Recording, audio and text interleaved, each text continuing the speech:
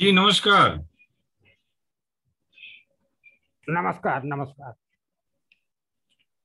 संवाद कार्यक्रम में आज हम बातचीत कर रहे हैं राजू रंजन प्रसाद जी के साथ इतिहासकार फ़िलहाल बाबा साहेब भीमराव अंबेडकर बिहार विश्वविद्यालय मुजफ्फरपुर अंतर्गत सीएन कॉलेज साहेबगंज में इतिहास के विभागाध्यक्ष हैं।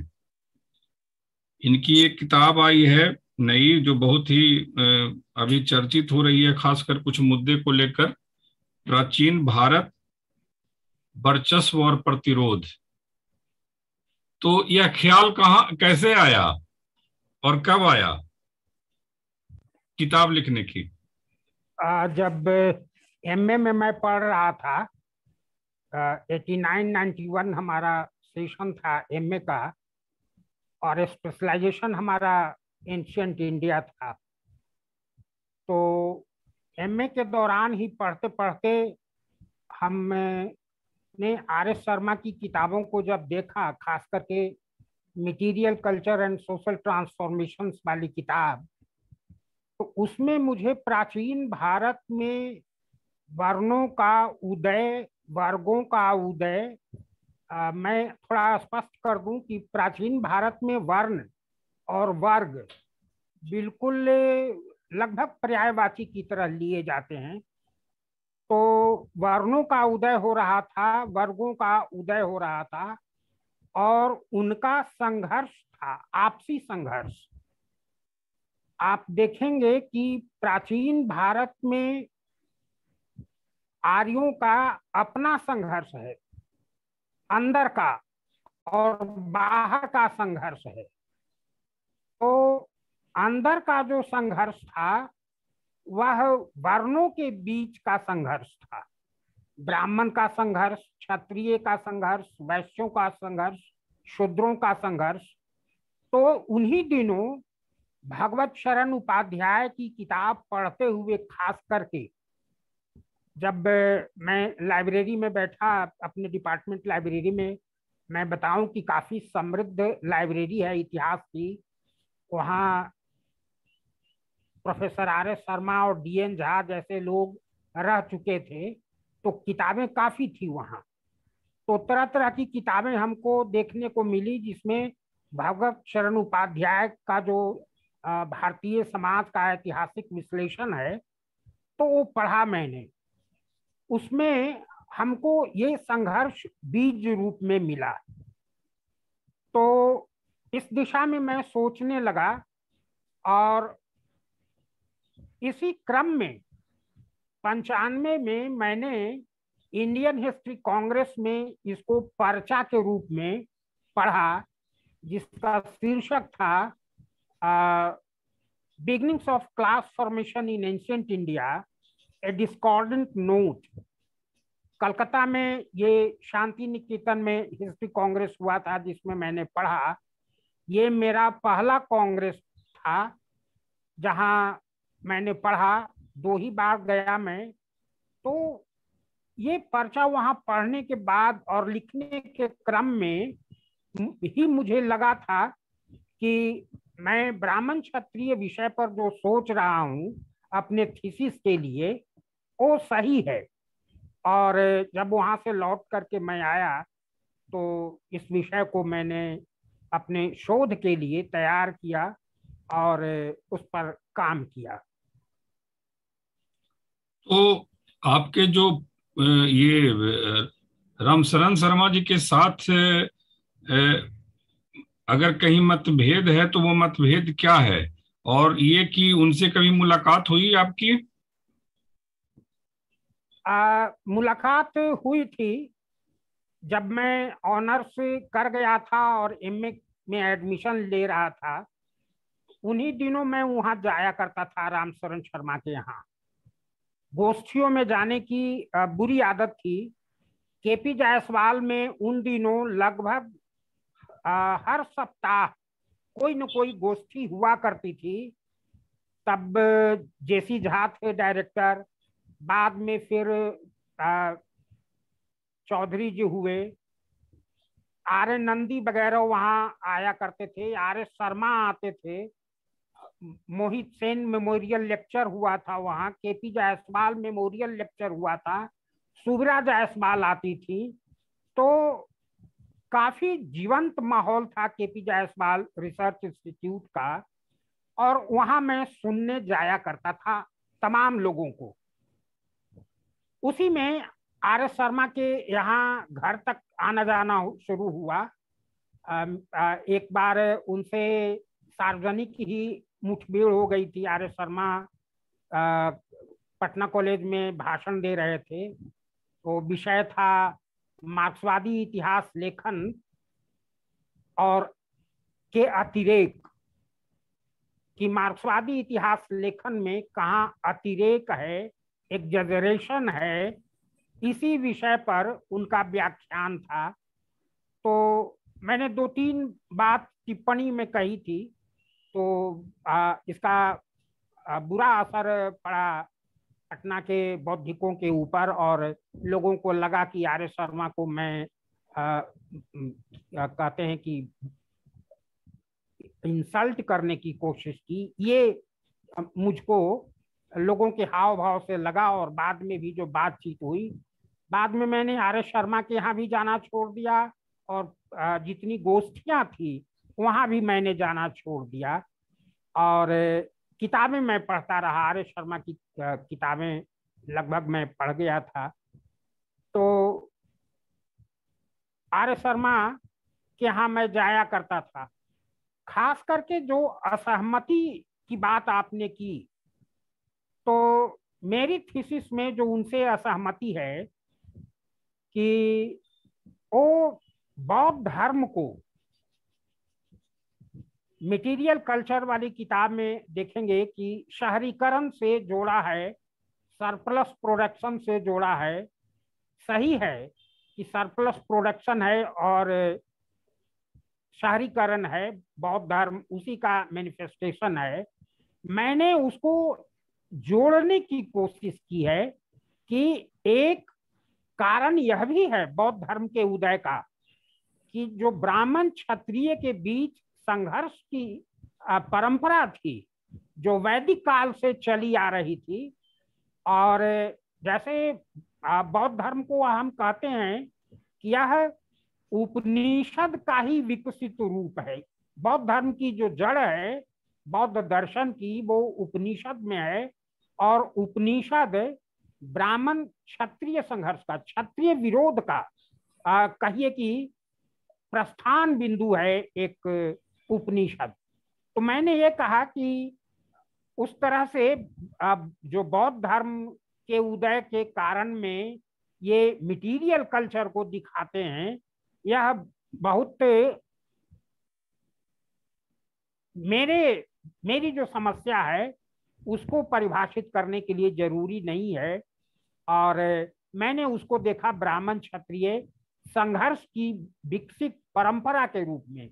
कि बौद्ध का जो उदय था, वह क्षत्रिय संघर्ष की एक परिणति था और अस्वाभाविक बिल्कुल नहीं है कि बौद्ध धर्म, जैन धर्म, ये जितने नेता हैं, वो सब क्षत्रिय वर्ण में जन्म लेते हैं। तो इससे मेरी बात को बल मिलता था।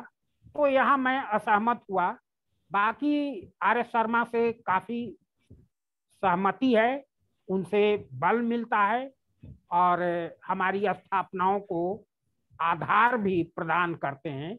लेकिन असहमति का ये एक बिंदु था जहाँ मैंने ब्राह्मण क्षत्रिय संघर्ष के विकसित परंपरा में हमने बौद्ध धर्म को आगे बढ़ता हुआ दिखाया। अपनी किताब में आप तो उसके लिए, सरप्लस के लिए मार्क्स को भी याद करते हैं कि ये उनकी थ्योरी है, इसका उल्लेख आप करते हैं। बिल्कुल। कहिए कि मार्क्स को मैंने थोड़ा समय से पहले पढ़ लिया था, स्कूली जीवन में ही, और बाद में मैंने मार्क्स के किताबों को पढ़ना कम कर दिया। मुझे लगा कि मार्क्सवाद को इस्तेमाल करने की ज़रूरत है। बहुत से लोगों को मैंने देखा कि मरते दम तक मार्क्सवाद ही पढ़ रहे हैं मार्क्स की लिखी किताब पढ़ रहे हैं उसको इम्प्लीमेंट नहीं कर रहे हैं राइटिंग में। मैंने आ, उनकी किताबों को जो पढ़ा उसको भारतीय इतिहास को समझने में इस्तेमाल किया और जो मेरा विषय हुआ प्राचीन भारत में क्षत्रिय और ब्राह्मण का संघर्ष। ये समझिए कि मार्क्स की ही स्थापना। मार्क्स कह गए थे कि अब तक का जो समाज है, लिखित इतिहास, अब तक का इतिहास जो है, वह वर्ग संघर्ष का इतिहास और प्राचीन भारत में जो वर्ण है, वो वर्ग ही हैं। तो उनका संघर्ष वर्ग संघर्ष है। ब्राह्मण क्षत्रिय एक तरफ़ हैं, इस संघर्ष में वैश्य और शूद्र एक तरफ़ है। ऐसे मोटे तौर पर जो हम विभाजन बनाते हैं कि ब्राह्मण, क्षत्रिय, वैश्य और शूद्र, ये चार वर्ण हैं, ये दरअसल सैद्धांतिक विभाजन है। ये आप कह सकते हैं कि एक आदर्श विभाजन है कि चार वर्ण थे। लेकिन दो ही मूल रूप में ब्राह्मण और क्षत्रिय शोषक वर्ग हो गए, वैश्य और शूद्र शोषित वर्ग हो गए। वर्ग कहिए या वर्ण कहिए, ब्राह्मण और क्षत्रिय आपस में मिल करके, जैसे राजा को टैक्स चाहिए, राजा कौन था? क्षत्रिय। तो राजा को टैक्स चाहिए। ये टैक्स ज़रूरी है यह ब्राह्मण लोगों को समझाता था। ब्राह्मणों ने अपने ग्रंथों में कहा कि राजा को कर दीजिए। राजा हरीन है और जो जनता है, वो जौ है। जिस तरह से हरिन जौ खा करके जीवित रहती है, हरिन का दोष नहीं है। हरिन जौ नहीं खाएगा तो खाएगी तो मर जाएगी। तो उस तरह से राजा अगर कर नहीं लेगा तो राजा चलेगा नहीं। राजा मतलब राज्य की जो पूरी मशीनरी है, जिसमें ब्राह्मण भी है। ब्राह्मण कोई काम नहीं करता था, सिवा आराम से रहने का और दार्शनिक गुत्थियाँ सुलझाने का। राजा को धार्मिक समर्थन देता था और धार्मिक समर्थन यही था कि एक माहौल तैयार करता था जनता के बीच, प्रजा के बीच। आप कह सकते हैं कि एक सहमति बनाता था। सहमति इस बात की कि राजा को हमें कर देना है। बौद्ध ग्रंथों को भी पढ़ें, ब्राह्मण ग्रंथों को भी पढ़ें तो आप देखेंगे कि राजा के बगैर समाज में अराजकता थी। उस अराजकता को दूर करने के लिए लोगों ने एक राजा का चुनाव किया। राजा खोजा अपने बीच से और बाद में वह राजा लोगों से कर लेने लगा। पहले जब ऋग्वैदिक समाज था हमारा ये मैंने दिखाया है अपनी किताब में कि कैसे ऋग्वैदिक समाज का राजा अलग है और उत्तर वैदिक काल में जब अधिशेष पैदा होने लगा, सरप्लस, तब राजा की भूमिका बदल जाती है। जैसे ऋग्वैदिक काल में कबिलाई समाज है। कबिलाई समाज से मेरा मतलब है कि वहाँ सरप्लस प्रोडक्शन प्रोडक्शन नहीं है। फ़ूड गैदरर सोसाइटी है एक तरह से। फल, फूल, कंद, मूल, ये सब पैदा करते हैं, शिकार करते हैं। तो जो कबीले का सरदार है, वह थोड़ा ज़्यादा लेता है। उसको लोग, चूँकि शिकार में बड़ी भूमिका अदा करता है, कोई लूट है तो लूट में बड़ी भूमिका अदा करता है। जैसे आप इंद्र को देख रहे हैं कि इंद्र को आह्वान करते हैं जनता कि आइए आप अपने हिस्से का सोम पीजिए, अपने हिस्से का ये खाइए, हमको भी दीजिए। तो जो राजा है, उसको एक बड़ा शेयर मिलता है। लेकिन चूँकि संपत्ति रखने की सुविधा नहीं है तो लेकर के भी क्या करेगा? तो बांट देता था। ऋग्वैदिक काल में या कहिए कि पूर्व वैदिक काल में जो अर्थव्यवस्था है, वो पशुओं पर आधारित अर्थव्यवस्था है। ब्राह्मणों को ज़्यादा से ज़्यादा गायें दक्षिणा में, दान में दी जा रही है। और दो ही चीज़ों की चोरी होती है ऋग्वैदिक समाज में, गाय की चोरी और स्त्री की चोरी। आप जितनी कहानियाँ देखेंगे प्राचीन काल की, महाभारत से लेकर के सीता ये सब स्त्रियों की चोरी से उपजी हुई कहानियाँ हैं। क्योंकि यार जब भारत आए तो स्त्रियों की कमी हो गई। आप इसको आ, वेद में भी देख सकते हैं। एक तो वेद की ऋचाएँ लिखने वाली स्त्रियाँ बहुत कम हैं और दूसरे देवियाँ बहुत कम हैं।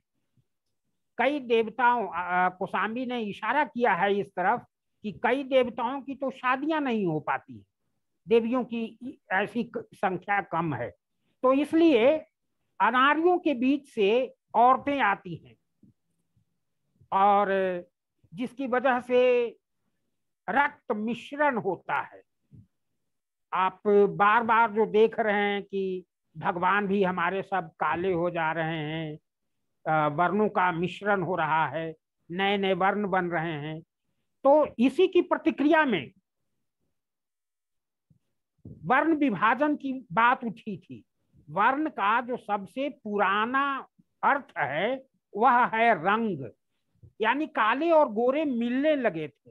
तो इस मेल को रोकने के लिए वर्ण विभाजन की बात उठी। तो आरंभिक विभाजन आर्यों और अनार्यों का है। आर्यों अनार्यों से मेरा मतलब है कि गोरे और काले लोगों का कथित रूप से कहा जाता है कि आर्य गोरे थे और जो द्रविड़ थे यहाँ के लोग, वो काले थे। तो पहला जो वर्ण विभाजन मेरी जानकारी में या मैंने जो अपनी स्थापना दी है, वह है कि पहला विभाजन काले और गोरे का था। बाद में ये वर्ण विभाजन आर्यों के बीच हुआ और जिसमें ब्राह्मण, क्षत्रिय, वैश्य और शूद्र चार वर्ण बने। ब्राह्मण और क्षत्रिय अवकाश भोगी वर्ग हुआ और वैश्य और शूद्र ये का, काम करने वाला वर्ग हुआ। वैश्य एकमात्र वर्ग था जो टैक्स पेइंग क्लास था। सारा कर इसी को देना होता था। इसलिए इसकी स्थिति लगभग शुद्रों जैसी थी मजदूरों जैसी। आप देखते हैं गोदान में होरी लगान देते देते वह मजदूर बन गया है। तो किसानों की स्थिति लगभग मजदूरों वाली स्थिति होती है। इसलिए वैश्य और शुद्र ये दो विभाजन तो था, दो अलग अलग स्तर था, लेकिन आप देखेंगे कि दोनों को एक जैसा ट्रीट किया गया है। भारतीय साहित्य में, प्राचीन भारतीय साहित्य में, शूद्रों और वैश्यों में बहुत कोई भेद नहीं है। दोनों शोषित वर्ग हैं और ऊपर के दोनों शोषक वर्ग हैं। तो ये मोटा मोटी समाज था, हमारा प्राचीन समाज। तो एस शर्मा से जो आपके और भी जो गहरे मतभेद रहे या जो असहमति रही तो जब सामना सामनी दोनों का होता था तो किस तरह के संवाद होते थे?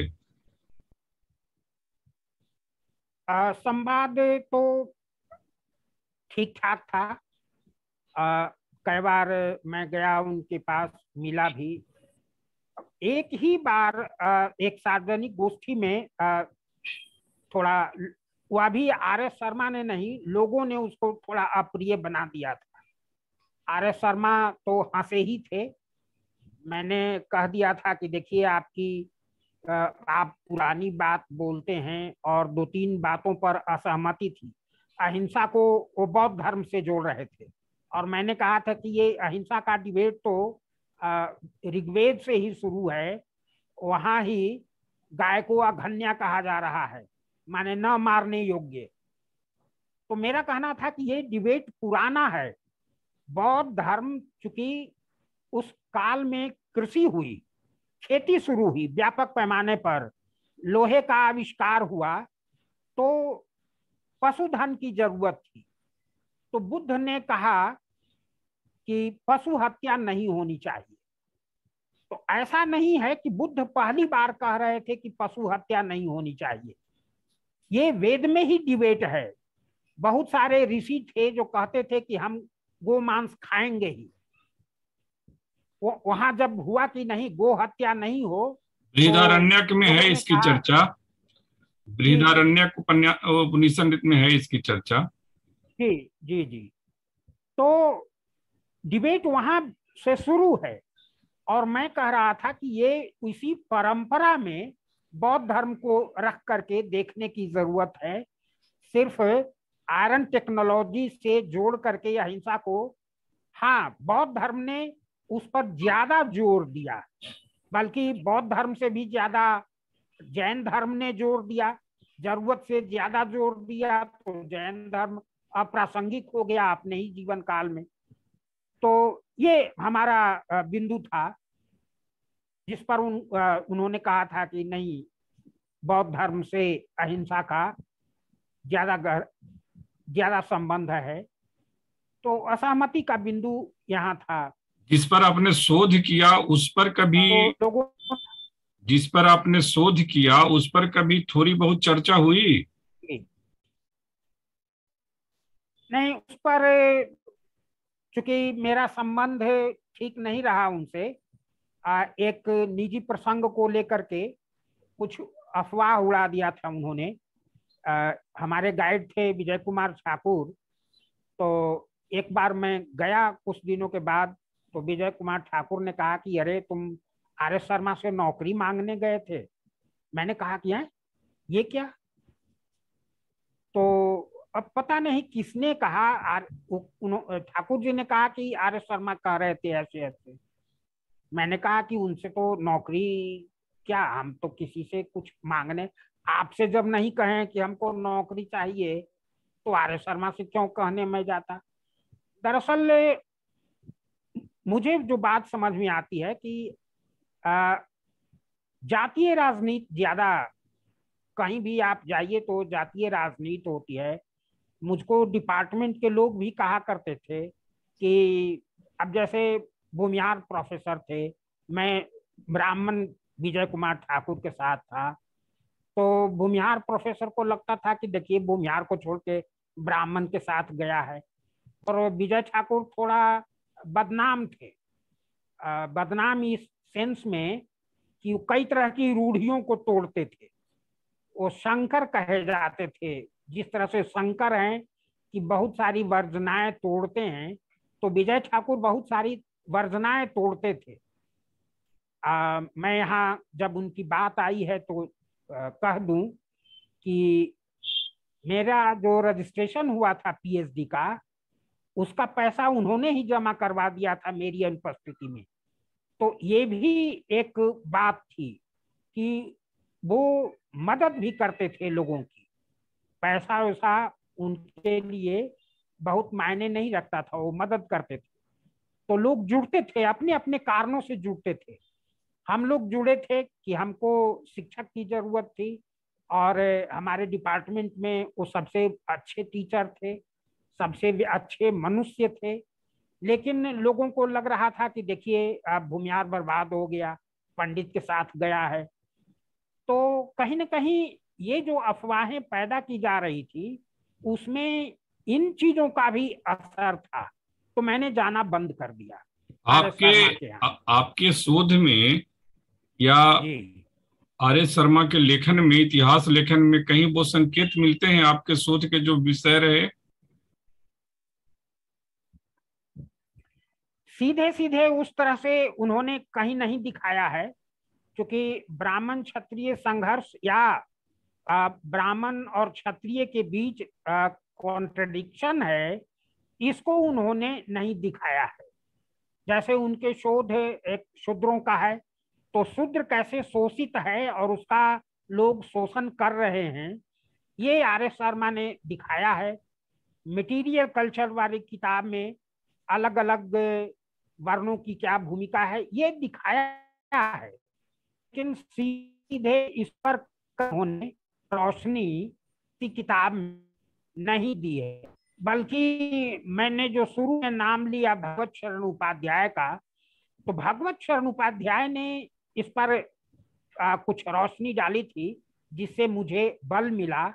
और दामोदरन वगैरह को के दामोदरन की किताब मैंने उन्हीं दिनों पढ़ी थी भारतीय चिंतन परंपरा। तो उसमें ये उपनिषद में विद्रोह ये वाली बात मैंने के दामोदरम से उठाई थी, वहाँ से वो दृष्टि हमको मिली थी।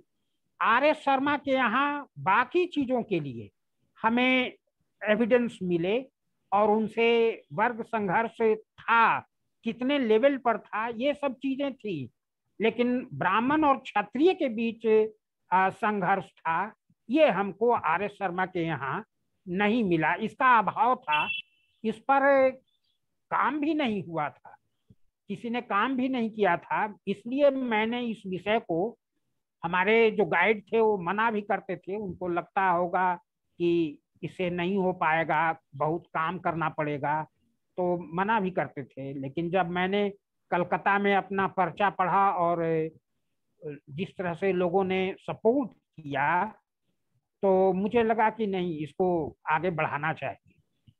तो आर एस शर्मा से मुझे बहुत मदद सीधे तौर पर नहीं मिली अप्रत्यक्ष रूप में बाकी चीज़ों को समझने में उनकी किताबों ने काफ़ी सहयोग दिया मुझको, काफ़ी आधार पैदा किया।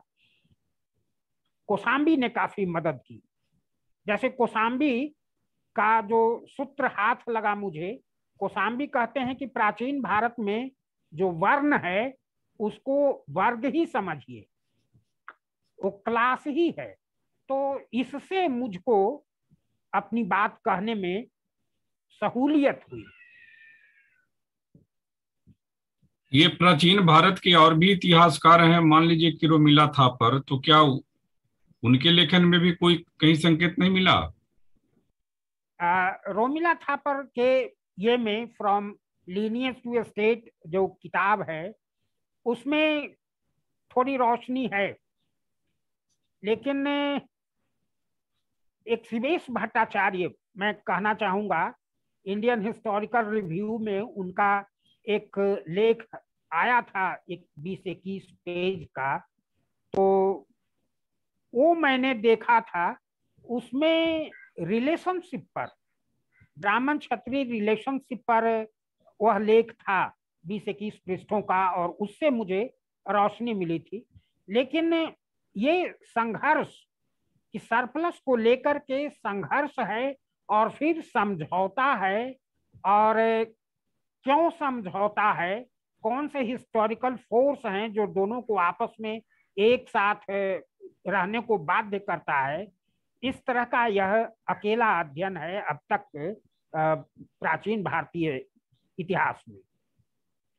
भगवान सिंह की एक पुस्तक है कौशाम्बी पर भगवान सिंह की भी एक पुस्तक है आपने उसे देखी थी? जी ना। अच्छा। भगवान सिंह को मैंने नहीं पढ़ा है सुना है। जब से फेसबुक पर जुड़ा हूँ उनको कुछ कुछ पढ़ता हूँ लेकिन इसके पहले मैंने नहीं पढ़ा था। इतिहासकार के रूप में आप उनकी कोई किस पुस्तक से नहीं गुजरे हैं? जी नहीं, बल्कि इतिहासकार के रूप में उनकी इतिहास सर्किल में उस तरह से ख्याति ही नहीं है। आर एस रामविलास शर्मा की कुछ हद तक पहुँच है इतिहास के विद्यार्थियों के बीच। जैसे मैं देखता था कि विजय कुमार ठाकुर वगैरह पढ़ा करते थे उनकी किताबों को मैं खुद जब विजय कुमार ठाकुर से बहस करता था तो रामविलास शर्मा को कोट करता था, राहुल को कोट करता था।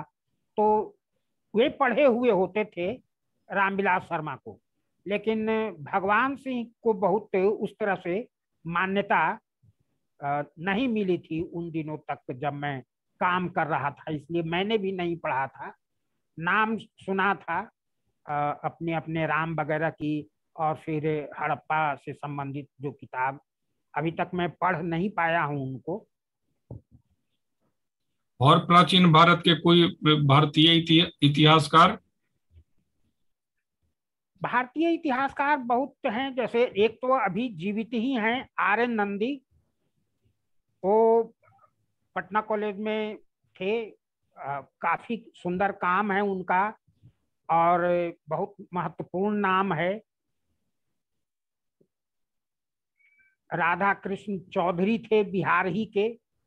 वो कहिए कि आरंभिक आर्य शर्मा से भी थोड़ा पहले और बहुत ठोस काम।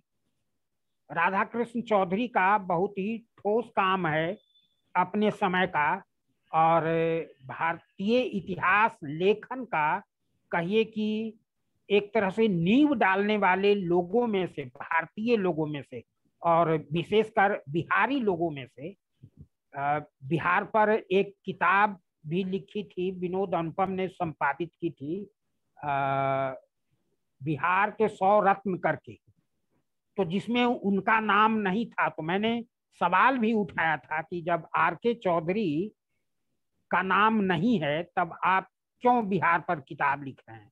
क्योंकि आरंभिक इतिहासकार हैं बिहार के, और ऐसा नहीं है कि कोई हल्का फुल्का हो अब कोई बिहार के इतिहासकार का नाम ले और अस्करी साहब का नाम छोड़ दे मेडिवल इंडिया में तो आप समझ सकते हैं कि क्या हो रहा है। तो आर के चौधरी ऐसा ही नाम है जिन्होंने प्राचीन भारत के इतिहास लेखन की शुरुआत करने वाले लोग हैं और बिहार में तो खैर उनसे ज़्यादा जेन्युइन काम करने वाले लोग आर एस शर्मा ज़्यादा नाम कमा सके इसलिए कि इनके पास मार्क्सवादी विश्लेषण पद्धति आई और एक खास तरह के लोगों का प्रश्रय एक पाठक वर्ग इन्होंने बनाया। मार्क्सवादी मार्क्सवादी दृष्टिकोण से जो भारतीय इतिहास का लेखन हुआ तो क्या उसके चलते जो आपके शोध के विषय जो रहे वो छूटते गए या उसकी ओर किसी ने ध्यान नहीं दिया? इसमें मेरा जो शोध का विषय है, उसमें ये चूँकि मैं दिखा रहा था कि ब्राह्मण और क्षत्रिय एक ही क्लास है और इसके अंदर भी संघर्ष है। लेकिन लोग कोई सीधा संघर्ष किताब में देखने को नहीं मिलता है। मतलब संहिता से पता चलता है या फिर उपनिषदों में इसकी थोड़ी बहुत हल्की चर्चा है कि जैसे आप दिखाते हैं कि राजा तो क्षत्रिय ही होता है ब्राह्मण जो है वो नीचे बैठता है सिंहासन पर राजा ही बैठता है। तो डायरेक्ट मैंने सीधा कोई संघर्ष भी उस तरह से नहीं दिखता पूरी किताब में। आ, उस तरह से कोई संघर्ष है नहीं। मैंने भी कहा है कि ऐसा नहीं है कि कोई फ़िज़िकल जी। वार है ऐसा नहीं है। दार्शनिक स्तर पर भाषा में आप देखेंगे दर्शन के स्तर पर देखेंगे अब जैसे मैंने कहा कि ब्राह्मण ग्रंथ है और बौद्ध ग्रंथ है। तो ब्राह्मण ग्रंथ में आप देख रहे हैं कि ब्राह्मण एक नंबर पर है। ब्राह्मण क्षत्रिय वैश्य शूद्र। ये हायरार्की है। आप बौद्ध ग्रंथों में देखिए तो बौद्ध एक अति क्षत्रिय एक नंबर पर है। खुद जब बुद्ध को जन्म लेने की बात आती है तो बुद्ध से पूछा जाता है कि आप किस वर्ण में जन्म लेना पसंद करेंगे। तो इस कहानी को समझने की ज़रूरत है। तो बुद्ध ने कहा कि अभी क्षत्रिय ही लोकमान्य है। माने श्रेष्ठ वर्ण क्षत्रिय ही है इसलिए मैं क्षत्रिय में ही जन्म लूँगा।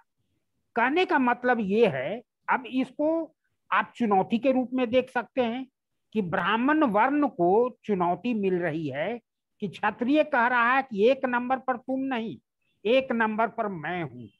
यानी जो एक नंबर पर ब्राह्मण है, उसको अपदस्थ करके एक नंबर पर क्षत्रिय हो रहा है।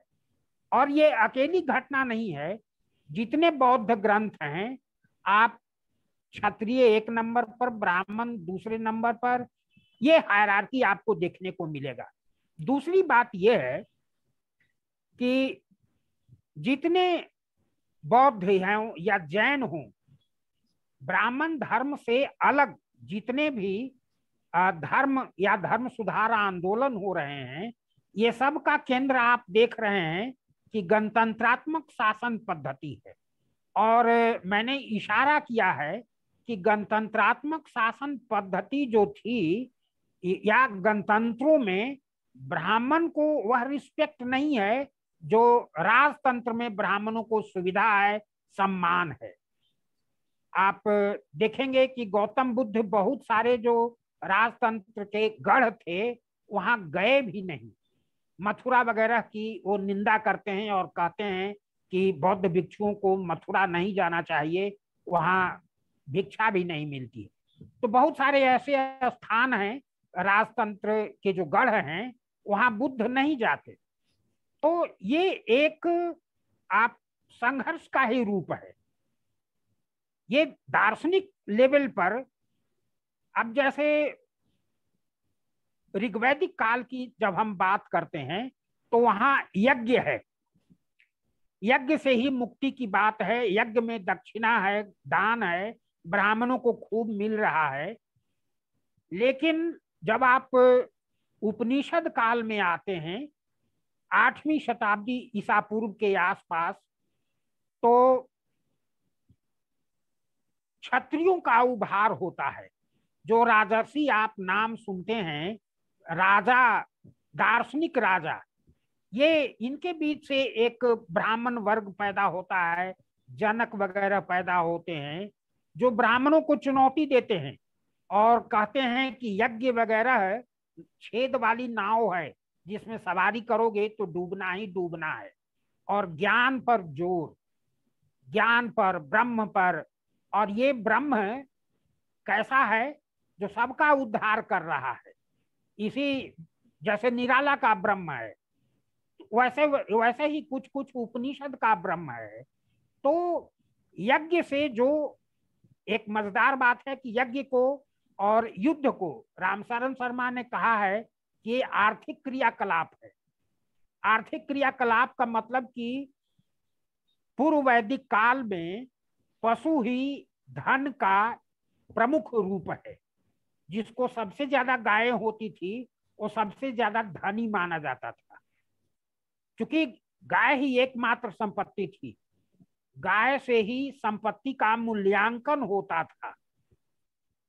किसकी संपत्ति? कितने गाय के बराबर? विनिमय का माध्यम गाय थी। जिस तरह से आज रुपया है, उस तरह से विनिमय का माध्यम गाय थी। और यज्ञ में गाय मिलती थी। तो उपनिषद के दार्शनिकों ने कहा कि इससे मोक्ष नहीं मिलता।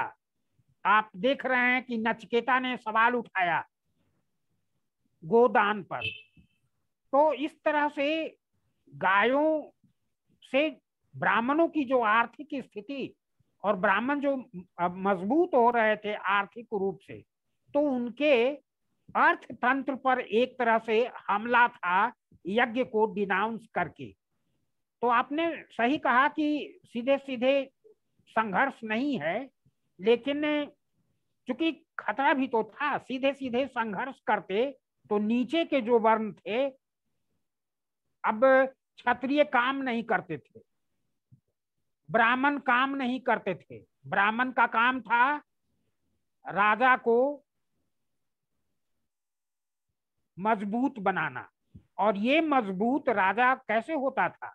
अगर वैश्य टैक्स दे तो वैश्य को टैक्स देना है, ये ब्राह्मण समझाता था। तो दोनों में विद्रोह विरोध भी है और दोनों में सहमति भी है। सहमति किन बिंदुओं पर है? कहाँ सहमति है? इसी को मैंने दिखाने की कोशिश की है कि संघर्ष भी है किन कारणों से संघर्ष है और फिर किन कारणों से आपस में सहमति बनती है? क्योंकि अराजकता, अब राजा का काम है वर्ण व्यवस्था का पालन करना। और आप देखेंगे कि प्राचीन भारत में सबसे ज़्यादा चिंता इसी बात की है कि लोग वर्ण धर्म का पालन नहीं कर रहे हैं। गीता में भी है कि स्वधर्म में निधनम श्रेय, स्वधर्म में मरना ही श्रेयस्कर है। और ये स्वधर्म क्या है? कि ब्राह्मण बैठ के खाए, क्षत्रिय वर्ण धर्म का पालन कराए, शुद्र अगर वेद बात करे तो उसकी हत्या कर दे। ये क्षत्रिय का काम था। और वैश्य का काम था टैक्स देना, शूद्र का काम था तीनों जो द्विज थे उनकी चाकरी करना। ये वर्ण धर्म है। जैसे अब ब्राह्मण के लिए है कि उसके लिए मोक्ष मिलेगा ज्ञान से। शूद्र को मोक्ष कैसे मिलेगा? ज्ञान से नहीं, सेवा से। ये ब्राह्मण बता रहे थे। ये ब्राह्मण तय कर रहे थे। कुछ अब जैसे इष्ट है, पूर्त है, दो तरह के दान है। इष्ट दान और पूर्त दान। तो इष्ट दान जो है वह जो शुद्ध है, आदमी है। शुद्ध आदमी का मतलब कि जो द्विज हैं, वे करेंगे। जैसे आज भी देखते हैं ना, बहुत सारे देवताओं की पूजा ब्राह्मण करेंगे, क्षत्रिय करेंगे और शूद्रों के अलग देवता हैं। तो उसी तरह से कुछ दान ब्राह्मण क्षत्रिय करेंगे और कुछ दान जो हैं, वो शूद्र लोग करेंगे। क्योंकि शूद्र को भी दान देना है। जी उसमें एक देखेंगे जी। कई बार आप देखेंगे कि ब्राह्मण यह कहते हैं कि नहीं शूद्रों को भी दान देना है खास करके भूमि वगैरह और जो फ़िज़िकल वस्तुएँ हैं उसका दान शूद्र करते हैं और मनु स्मृति तो इस पर ज़ोर देते हुए कहती है कि दान गृहस्थ का प्रमुख सबसे बड़ा धर्म है। तो धीरे धीरे आप देखेंगे कि दान देने के लिए लोगों को प्रोत्साहित किया जाता है। और ये सब ब्राह्मण और क्षत्रिय जो सुविधा भोगी वर्ग है, उसी के लिए है। और नीचे के दोनों लोग दान देते हैं। यही ब्राह्मण का काम है कि दान देने के लिए वैश्यों और शूद्रों में सहमति पैदा करे, आज्ञाकारी बनाए। कभी कभी तो मुझे लगता है कि यदि इस किताब का नाम कि प्राचीन भारत परस्पर सहयोग और विकास अगर हुआ होता तो ज़्यादा अच्छा रहता। कि संकेत बहुत इसी के मिलते हैं। परस्पर एक दूसरे के सहयोग सहयोगात्मक रवैया।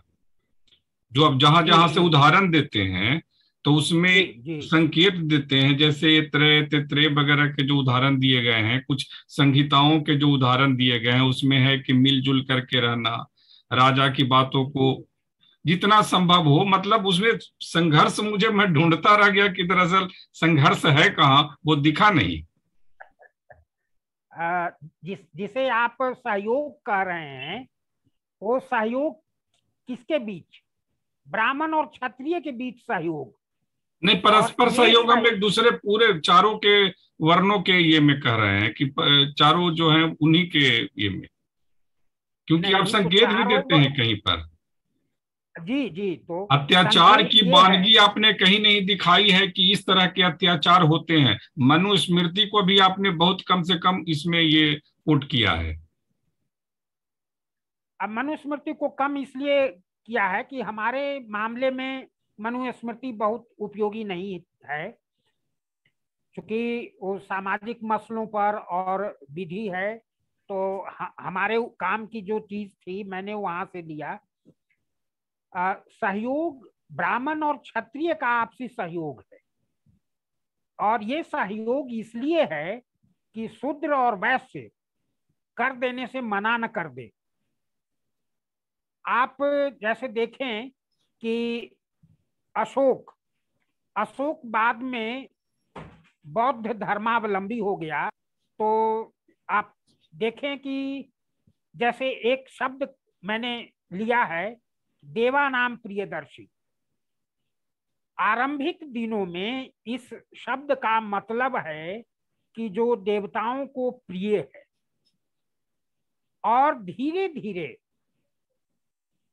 जब बौद्ध धर्म से घृणा पैदा हुई और वह घृणा समाज में ज़्यादा हो गई तो व्याकरणों ने उसका अर्थ लगाया कि नहीं।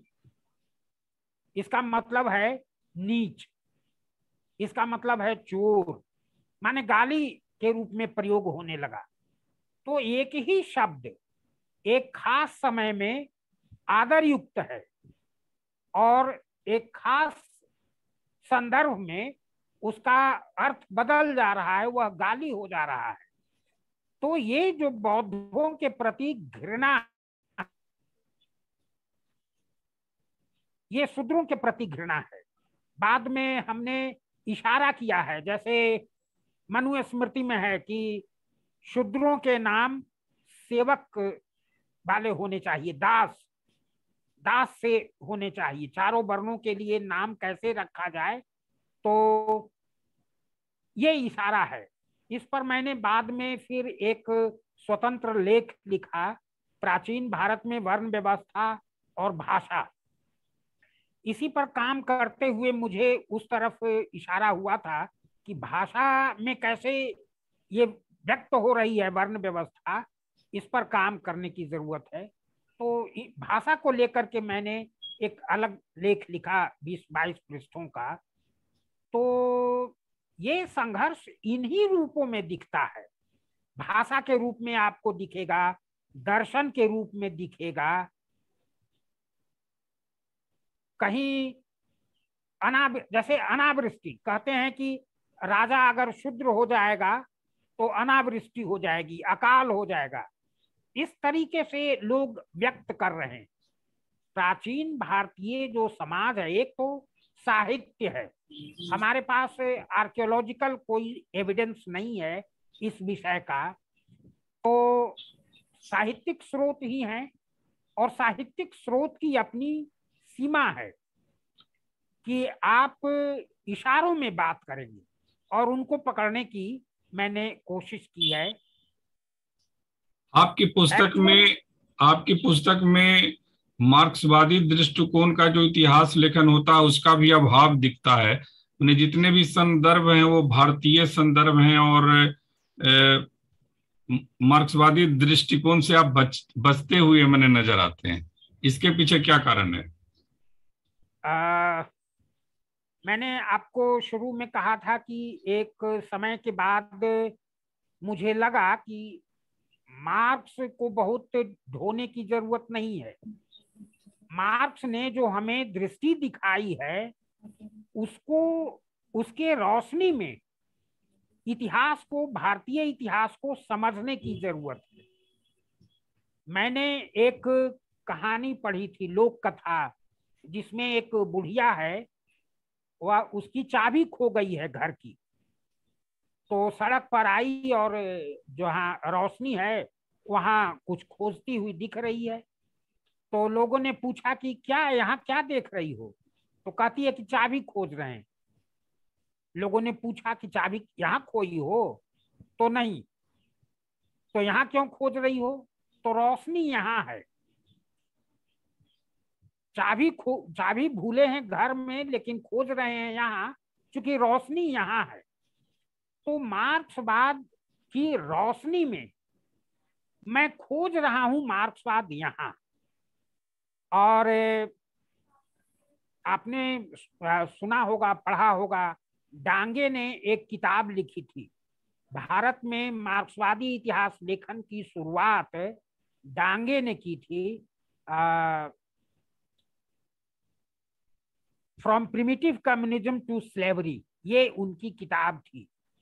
तो मार्क्स ने जो सामाजिक मंजिल बताया था उन उन मंजिलों को, उन उन सोपानों को कि समाज का कैसे विकास हुआ है, दास प्रथा से लेकर के पूंजीवाद तक, आदिम साम्यवाद से लेकर के पूंजीवाद तक, ये सब डांगे ने दिखा दिया।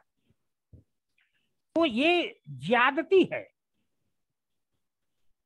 कोसाम्बी ने इसको सुधारा और कोसाम्बी ने कहीं मार्क्स को कोट नहीं किया। सिर्फ़ एक दो जगह है जहाँ मार्क्स का नाम लेते हैं और बल्कि मार्क्स पर वो हँसते भी हैं। वो ओम शब्द का प्रयोग करते हैं, जिसको कहते हैं ऑफिशियल मार्क्सिस्ट। तो मार्क्स बहुत कोसाम्बी बहुत नाम नहीं लेते हैं।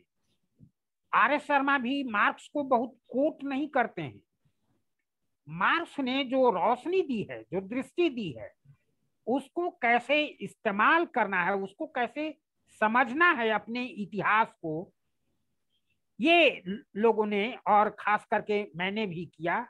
हमने देखा कि जैसे मार्क्स ने कहा कि वर्ग संघर्ष है इतिहास में, मैंने भी दिखाने की कोशिश की कि वर्ग संघर्ष है और ये वर्ग है ब्राह्मण और क्षत्रिय एक तरफ़, वैश्य और शूद्र एक तरफ़, ये वर्ग संघर्ष है। ब्राह्मण और क्षत्रिय के बीच भी जो संघर्ष है तो वह अभिजन का, दो एलिट का संघर्ष है। वो वर्ग संघर्ष नहीं है, क्योंकि दोनों एक ही वर्ग को रिप्रेजेंट करते हैं।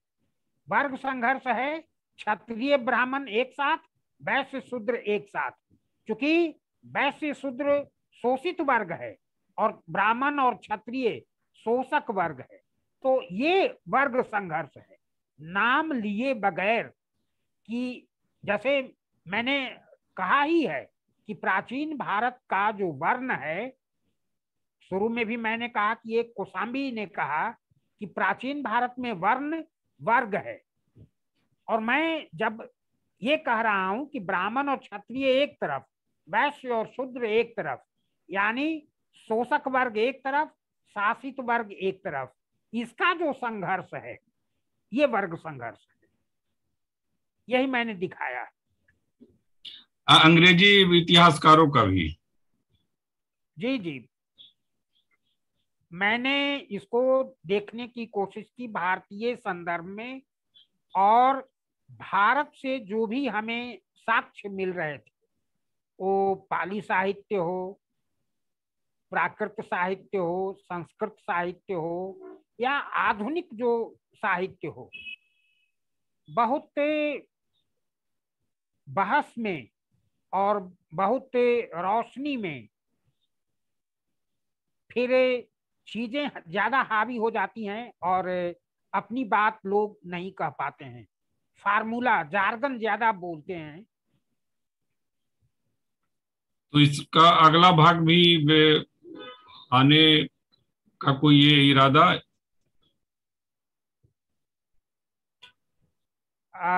अगला भाग जैसे मैंने कहा कि भाषा को लेकर के कि भाषा में कैसे वर्ण व्यवस्था प्रतिबिंबित हो रही है, इस पर मैंने काम किया है।